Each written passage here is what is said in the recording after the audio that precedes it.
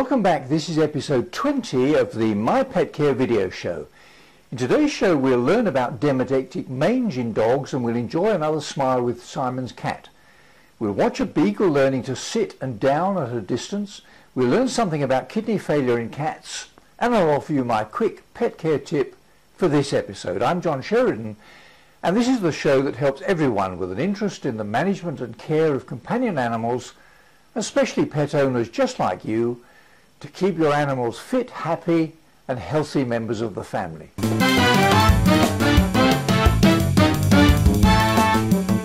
A number of skin diseases in dogs are caused by parasitic mites.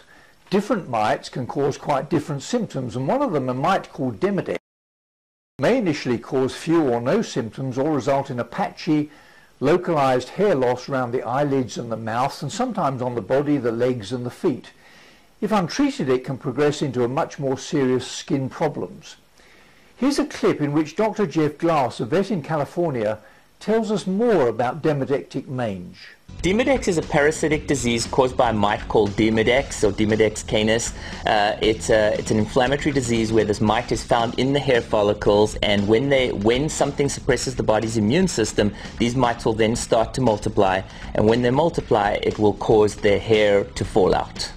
I think the most important thing for clients to know is that Demodex is a disease that's not contagious directly from one dog to another. A lot of times people are worried when they have, then the dog has Demodex, is it going to be transmitted? The way that they get it is from their mother. It's usually transmitted in the first few days of life. When the pups start to suckle on the mom, they'll often get that mite. That's why it's often found around the face and it's often found in the front feet. It can be found anywhere in the body. So what happens is that many dogs will have this mite living in their hair follicles and usually what will happen is it'll just sit there in the hair follicles and not cause any real problems at all. If something suppresses their immune system, which can be as simple as them having worms and parasites, which many puppies will have, uh, this can then cause this mite to now start to multiply and grow and when it does multiply, that's when it causes the symptoms and causes the problems.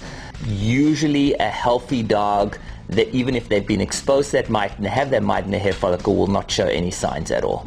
The symptoms of, of uh, Demodex can be very variable. Sometimes it can just be a very small patch of hair loss, which sometimes people can just confuse from a scratch, and it can be just a small area of hair loss in any part of the body and uh, usually those are the much milder forms. It can become much more serious where we see dogs that can have hair loss in multiple patches all over its body or even the entire body. When they get secondary infection from this mite because their immune system is down, they can get secondary bacterial infections which can then result in scabs all over the body, crusting, and at that stage a lot of the times the dogs will be itchy and scratching. Because there are many causes of uh, hair loss in a dog, you want to make sure that your dog truly does have Demodex. Diagnosing Demodex is a relatively simple procedure where your veterinarian may want to do a skin scraping where he'll scrape a part of the skin, look it under the microscope, and then he will see the mite in various stages. If he sees that, it confirms the diagnosis. So it's not a difficult disease to diagnose. As far as treatment is concerned for Demodex, for localized when you have a very small area, if it's a young dog with a small area, sometimes treatment is not necessary. There are topical ointments that you can put on a dog which may or may not help to make it uh, resolve quicker.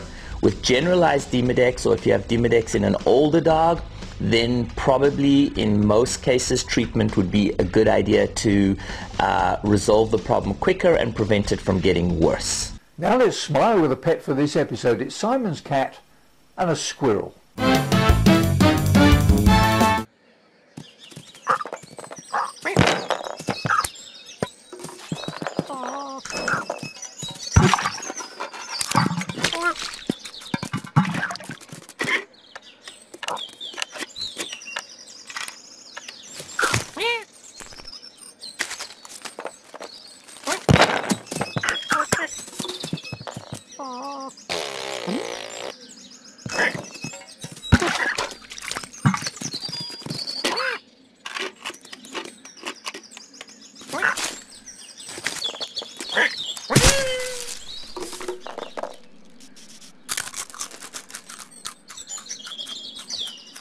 Now for the website search for this episode.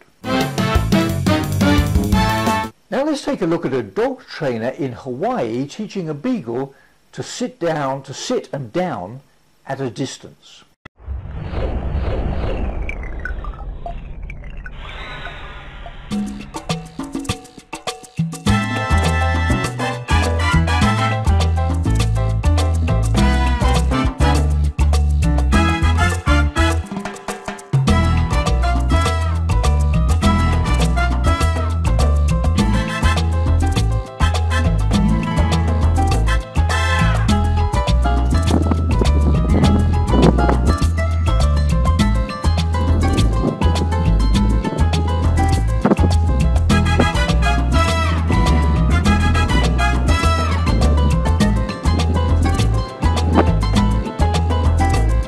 Next one, do a remote sit, move, and then do another remote sit and recall.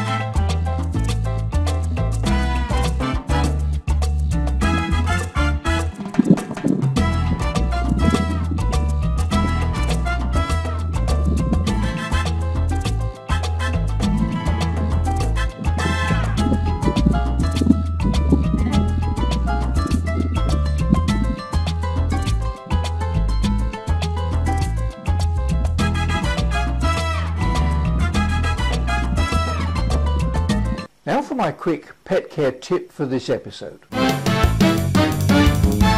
Chronic kidney failure is one of the most common conditions seen in the older cat. It's a particularly serious problem because by the time signs of renal failure are noticed, there may have been a loss of up to three quarters of normal kidney function.